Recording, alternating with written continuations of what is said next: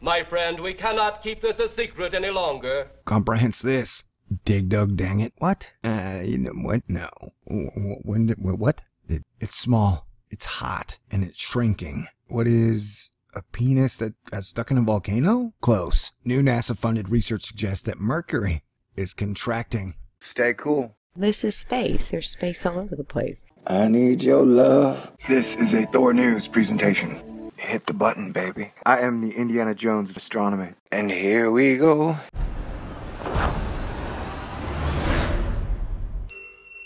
Thor News presents. Everyone who dicks wants to talk about planets. Okay, this article's kind of old, about a month, but it's important. Thought I should cover it. I'm a little backed up. I'm just playing catch up now. The incredible shrinking Mercury is active after all. Shall we read that one? Or Mercury found to be tectonically active. That means that's when a planet likes to play with itself underneath the covers. Alright, that's scary, so we'll go back to this one. Did you know the incredible shrinking Mercury is active after all? It's small, it's hot, and it's shrinking. What is a penis that got stuck in a volcano? Close. New NASA funded research suggests that Mercury is contracting even today, joining Earth as a tectonically active planet. Wait, if it's having contractions, maybe it's pregnant. That would be weird to know that the sun isn't the only pregnant planet or star in our solar system right now. Science, it's so crazy and naughty at the same time. See images obtained by NASA's Mercury surface space environment geochemistry ranging. Messenger spacecraft reveal previously undetected small fault scarps. And a scarp is like a shrimp, but different. Oh, no, my bad. It's cliff-like landform that resembles stair steps. So I guess instead of saying watch your step, we should be saying watch your scarp. Maybe then people would get confused and they think you were saying watch your scarf. And most people these days don't wear scarves unless they're very fashionable women. And they would say, hey, I'm not wearing a scarf. And then they would trip and fall down the stairs and the lawyers would win. These scarps are small enough that scientists believe they must be geologically young, which means Mercury was pretty much born yesterday and is still contracting. Earth is not the only tectonically active planet in our solar system, as previously thought. Wait, I thought Mars was tectonically active and Venus was tectonically active, and you gotta know there are plates moving on Uranus, Saturn, Jupiter. Man, who writes this crap? I don't know if I took my medicine today. You should be warned. Do I have medicine? Of course I do. Everybody's got medicine. The findings are reported in a paper in the October issue of Nature Geoscience. The young age of the small scarps means that Mercury joins Earth as a tectonically active planet. To me, Mercury is the sun's moon, with new faults likely forming today as Mercury's interior continues to cool and the planet contracts. So Mercury's got earthquakes, bro, and it's getting smaller. See, it's weird. Like Mercury's getting smaller, but Earth's getting bigger. Um, tell me all about Mercury's core, can you?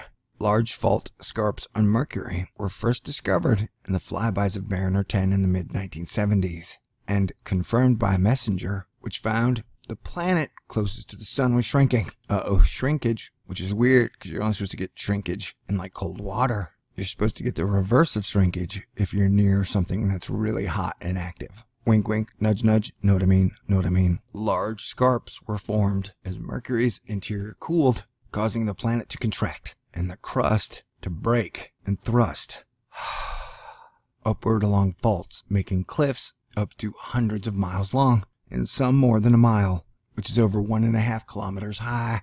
Man, I'm getting so high on this science. It's making my uh, inner self feel tingly. In the last 18 months of the Messenger mission, the spacecraft's altitude was lowered, which allowed the surface of Mercury to be seen at a much higher resolution. These low altitude images revealed small fault scarps that are orders of magnitude smaller than larger scarps. Okay, so apparently like Mercury has stairs all over it. But don't stare at the stairs.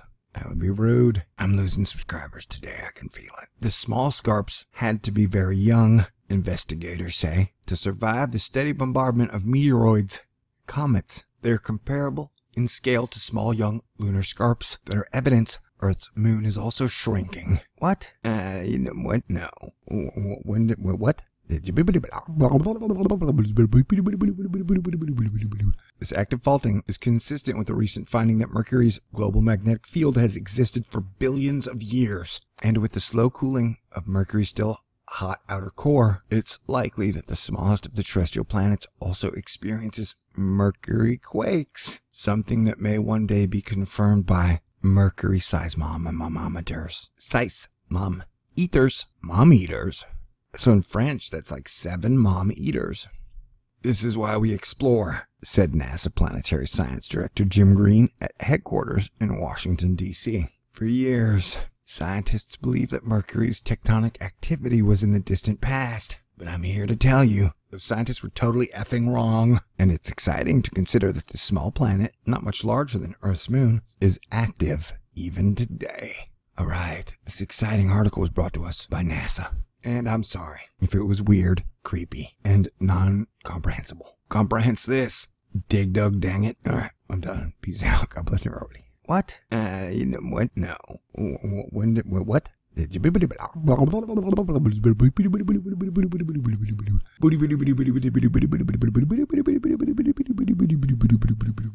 All over the world.